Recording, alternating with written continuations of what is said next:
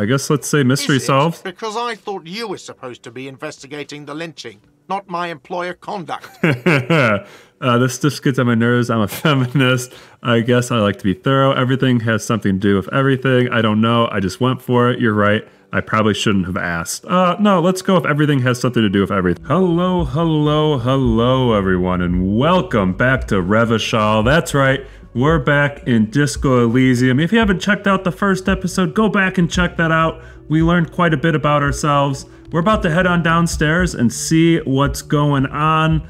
Let's get our unknown guy walking down there. So, okay, we got a guy over here, a lady in a wheelchair.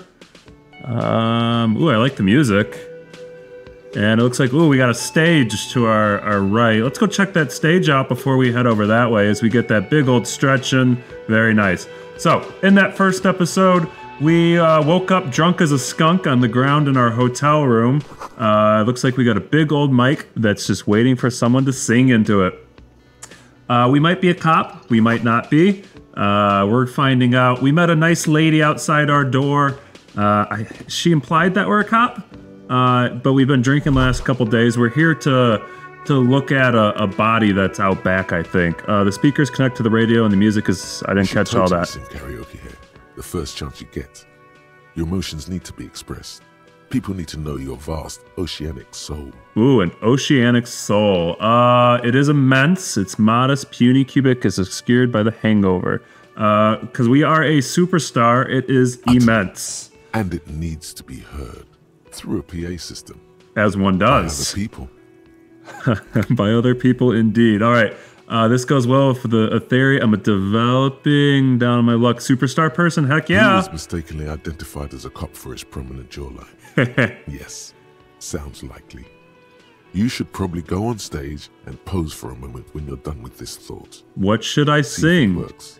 You should sing the sad small church song from that tape you found. Thought it was obvious. Yeah, of course. Serves them right.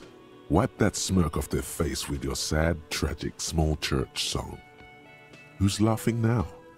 No one. You would need another copy of the tape first, though. The one upstairs is destroyed. All right, so we got ourselves another quest to find a, a copy of that tape. It's like we got a fellow standing. Oh, we got an As you idea. turn, a bright light catches your eye, making you squint. Where's it coming From From a distant sunset, a stage light, flash photography, nowhere in particular. It's just what superstar law officers do. They squint at lights and they solve shit. Exactly. We're here to solve shit. Actually, now that I hear superstar and law official in a sentence, they sound weird together. Yeah, that's me. I've been establishing my superstardom hard lately. Yeah, you have. You're a big dick cop. Dick Salam Rocky Baye. Badass on the edge disco cop. On the Time edge disco cop. I like it. Fantasy world. Here we go. Camera, lights. Action. With a sudden flash, the world freezes around you, and you along with it. In an iconic monochrome solution, a black silhouette against a rasterized orange world. It's on. Indeed, it is. We're definitely going to be leaning into the uh, the superstar. Uh, we lost two logic. Oof, that's not good. Uh, um, let's see. First, let's make this absolutely clear. No one is saying you're an actual superstar. And the groupies and cocaine riddled with hepatitis C strikes a lioness pose with a mic kind of way. You're not uh, Guillaume Le Million or Davy Dewey or Dewis. No, you're a metaphorical superstar. I love it. Medical for, metaphorical superstar. You bring that rock and roll authenticity and passion to a line of work where people don't expect or want to see it. Where some would say it doesn't belong in law enforcement. So we can internalize it. Okay, so we're going to start, I guess, researching that. We'll let that run for a few seconds and we'll have to come back and check that out. Let's head on over to our journal. So, our, our task is to sing karaoke. We need to find a sufficient tragic tape, then play it on a boombox to memorize the lyrics. Then ask the cafeteria manager to perform, preferably in the evening. More people are in the bar. Man, I'm having a good old laugh here. Okay, so uh, map. We've got two from the mirror. I, I guess we don't know exactly what that is. Um, okay, let's go ahead and back out of this. 843 still here on day one. Let's talk to this fellow here, see A what he has to say. His late twenties stands behind the counter, inspecting a stuffed seabird. As you approach, he gives you a sideways glance, then looks down again. Oh, probably because we've been drinking the last couple days. He has wants nothing to do with us. Everything is cool between you and this guy. He's a big fan. Make some small talk. Uh, we're gonna look at that A stuffed bird. work of taxidermy. The white and brown seabird lies among piles of coasters and drying mugs. One of its wings broken. The man is trying to mend it. Oh, did we break it? Looks like the bird was ripped off the shield that was used to mount it, most likely on a wall. This is the Great Skua. The seabird is the symbol for the discovery of the Insulindian Isola, the part of the world you are in right now. Huh. The small steel tag says as much. The Great Skua. Stegosaurus Skua. Well, let's uh, let's uh, show him our impressive knowledge. I mean, what happened? I'm assuming we ripped it off. We probably definitely can't help. Uh, let's go with that. Look, your buddy is over there. He looks at the door where a man in a bomber jacket is tapping his foot on the floor. Okay, so that guy in the orange jacket, that's where we're heading. Why don't you go and talk to him, okay? Uh, I don't want to be a jerk. Uh, what do you mean by my buddy? He pretends not to hear you, concentrating on the bird instead. Okay, let's. I mean, we're a cop, maybe, or a superstar. Let's ask him if he's the No, bartender. I'm not the bartender. I'm the cafeteria manager. Okay, someone's a little snippy. He's very animated all of a sudden. This seems like a touchy subject. Uh, okay, we'll be nice. Uh, and then we're just gonna keep on walking, and we'll we'll see what everything has to offer here. Uh, the menu has been wiped clean. Only the words Monday is written on it. A woman's hand wrote yesterday's menu. Today starts with a man's handwriting. Ooh. All right. There is a water cooler. A large bubble is rising to the surface. I like these little uh, details. Uh, the soft purr of an electric juicer comes from the kitchen. Someone is working. All right, let's click on this door here. The door is bolted. A sign reads "Kitchen reserved for personnel until 1300." Uh, all right, can we interact with this here? Inside, you catch a glimpse of Union paraphernalia, a strike poster, and some Ren pennants. see if we can get through the store. Uh, sign reads Mess Hall reserved for Union members. Doors open at 1600. Uh, we can look at whatever. Is this a pinball machine? This Royal Pinball Machine is unplugged. All right, we'll talk with the lady in the wheelchair, and then we'll talk with our buddy down here in the orange bomber jacket. Oh, our jackets have the same markings on the back. Uh, okay, Lena, the cryptozoologist's wife's wife. Oh. You shouldn't keep your colleague waiting. Oh, I want to talk to you though. Okay, fine. We'll go talk to our friend here. A bespectacled man in an orange bomber jacket is tapping his foot on the floor. Looks like he's waiting for someone. You. As you approach, he narrows his eyes and extends his hand in greeting. Aw, how nice of him. On the sleeve of his bomber jacket, as well as on its back, are the same enigmatic white rectangles as on your blazer. Okay, so I think we're gonna go superstar, but not like jerk superstar. So of course we're gonna shake his hand. I'm Kim Kitsuragi. Kitsuragi. Precinct 57. You must be from the 41st. you realize he's waiting for your name. okay, so we can either uh, be honest, just be a jerk, or uh, we, should we invent a name for ourselves? Partial to the officer. Um, man, let's uh, well, well, let's say nothing and let's see if he says our name. It looks like we had a little scheduling error on Sunday. Saturday too, actually. Have you had time to talk to the manager here? I mean, technically, yes. What he means is, he has been trying to meet up with you for two days, but you have been otherwise occupied. Aka drunk as a skunk. Um, you're taking me for someone else. No, uh, yeah, we just talked to If you him. don't mind, we should talk to him again. Ask him for a rundown of the area. Now that I'm here as well. I understand the scene is out back, right? Mm, Maybe I think that's what the It gal upstairs would be hard said. To assure him the police are finally here. In full force, I mean. Have you mapped out the initial interviews? yes, I'm aware I'm a policeman. Uh, yes, I have. Ah, man. Um, let's go if I haven't. Again, we're gonna be we'll be superstar, but not a jerk lying superstar. Okay, we'll have time for that after we take a look at the coroner's case. Okay. Have you removed the dead body from the tree? Uh, again, we're not gonna lie. So the body is still in the tree It it is. where it has been hanging for seven days straight. We should go there as soon as we are done talking to the owner. Uh, how can you be so sure I'm from the police, but I can't remember anything? What are we supposed to be doing again? All right, well, let's just um, let's go with I was sent here to meet a detective from Precinct 41.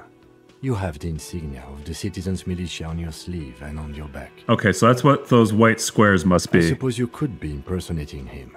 You could have gotten the insignia from the black market or forged it. But for now, I'm going to set those possibilities aside. I'm not from the Inspectorate General. Inspectorate General means internal affairs. What he's saying is he's not from the Rat Squad and isn't supposed to suspect such things.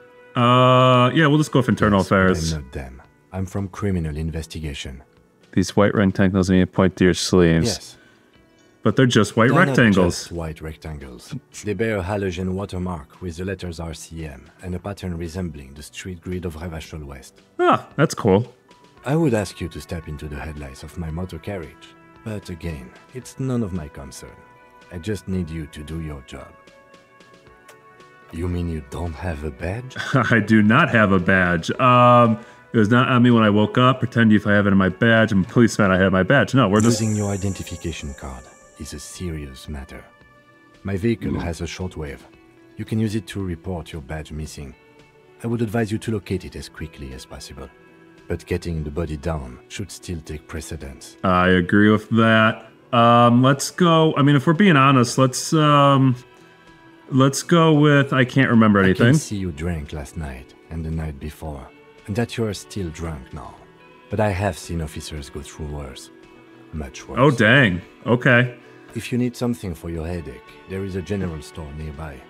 But as I said, the dead body should be our number one concern. I agree with that. Okay. Um, see, this could go a couple different ways. Like he could be like, haha, impersonating syndrome, or you know, imposter syndrome. Mm, yeah, let's go ahead and say We this. feel that way sometimes.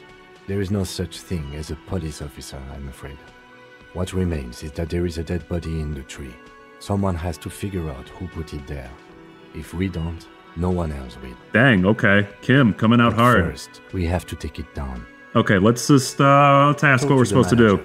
Then we go out back and take the body down. All right. That sounds like a plan. Let's go ahead and. You, officer. Eh, barely an officer. All right. So let's head over here and talk to, what was his name? Garrett? Talk to Garrett over here. We're back, my friend. The Hola. man with the unimpressive beard notices you approaching. He drops the ledger he was holding and turns to the lieutenant. Mr. Garte. Garrett. Okay, close. Uh, You yeah. run this place. And glances in his little notebook. Yes. Okay. I am Kim Kitsuragi from Precinct 57. This is an inter-district investigation, so joining me from Precinct He still doesn't know my name. Uh, the Harbinger of Ruin. I'm currently in between names. Uh, uh, or say nothing. Uh, let's hmm, let's just be quiet. Or do we? Ah, you know what? No, we're gonna. ah, but I don't want to be a jerk. Okay, let's go say nothing. Right. Now, I know it took us a while to arrive at the scene. It also took you a while to call us and report the dead body. It was you who placed the call, yes? No, I only just got here. It was probably Sylvie who called you. She usually works the bar here. I'm only temporarily taking over her duties. Ooh, interesting. Why is Sylvie not here? She's suspect number one. Do you have her number? As a matter of fact, I do. Okay, so now we got someone to call. This call. sounds like something you can use to call this Sylvie later. Oh well, thank you, reaction speed. I um, didn't know that's what a phone number was for. You said you just got here. From where? Are you a local? I guess we're just gonna stand here and be quiet. Kim's gonna ask all the questions. Mar- Martinaise? No. I live in Jamrock. I only sometimes come here to keep an eye on the place. This is just one of the many, many cafeterias I manage. But you still know your way around, yes? In case we need directions. Yes, I know where some things are, but as I said, I don't live here. I just used to work here. And I'm not going to start working here again, if that's what you think. I didn't imply that. Detective, Uh, yeah. I have everything. You? Yeah, we can ask some questions. yes, yes, he means, do you have questions for me, like a police officer would? he is clearly agitated with us. Clearly. He thinks you're stupid, sire. Oh, this is this game is making me laugh, man. I love this game. Hey, down in the comments below, let me know what you think so far here of Disco Elysium. I'm having a f- Disco Elysium. I'm having a fantastic time playing. Hopefully, you guys are having a fantastic time watching. I'm kind of forgetting you guys exist because I'm just having a fantastic time. Ask him about the body's location before asking if he killed him. People give up information in the more innocuous questions, which you can later use in the more sinister ones, not vice versa. Well, should we listen to our rhetoric or should we um should we go No, okay, we're being the good cop. Uh superstar good cop. Uh so let's go. Where exactly is the Behind body? this building, there's a courtyard. They hoisted him up on a tree there. They. Ooh, who's they? How do we That's easy. See that door there?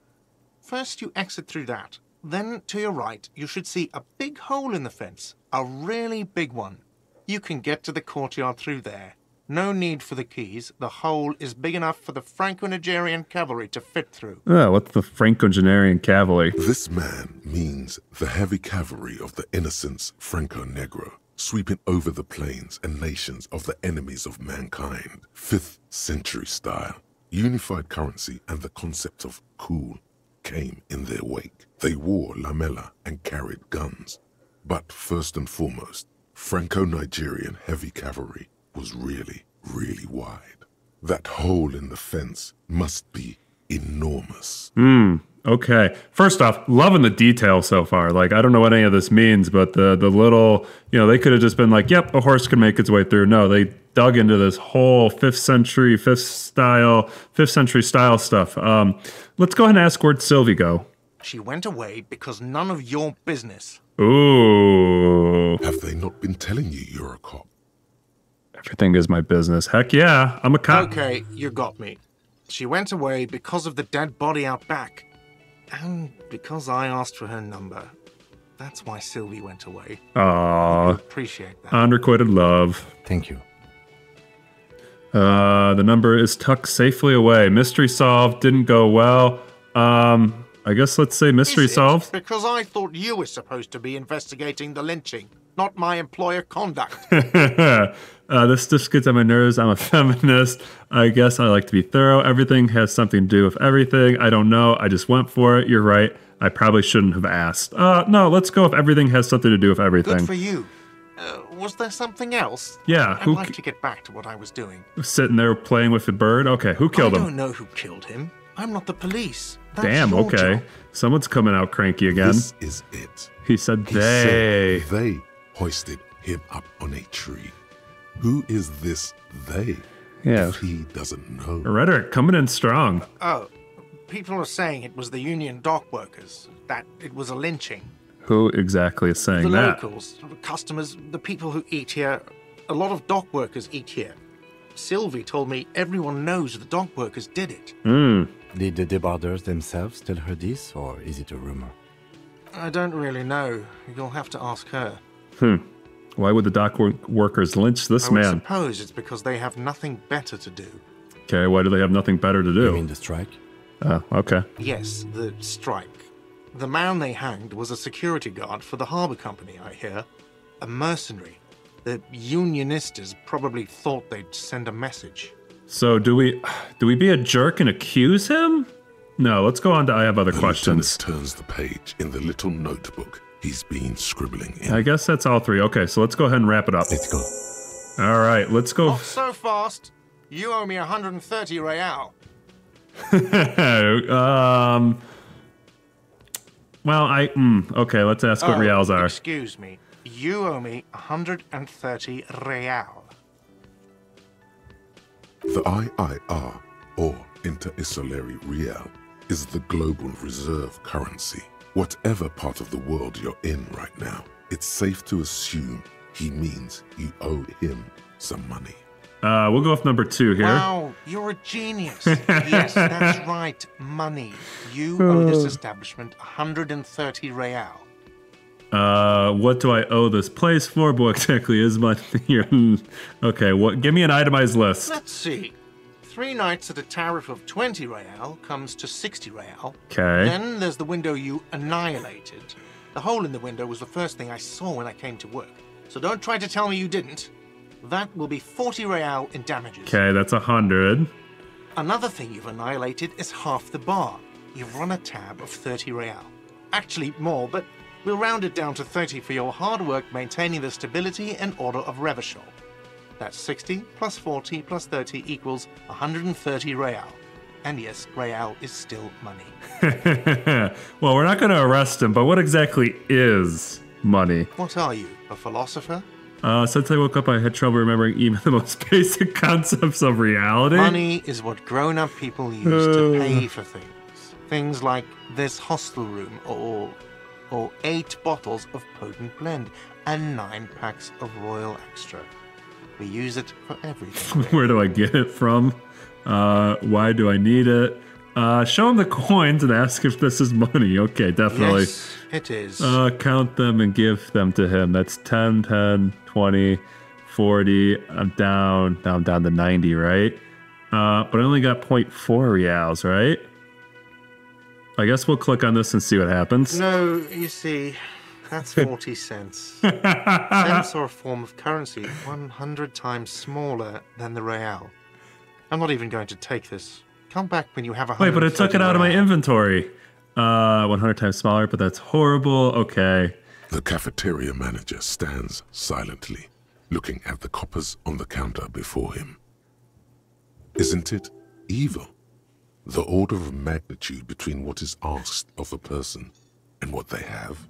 Darkness rides. Um, no. There's a shuffle of nylon as Lieutenant Kitsuragi looks for something in the pockets of his orange bomber.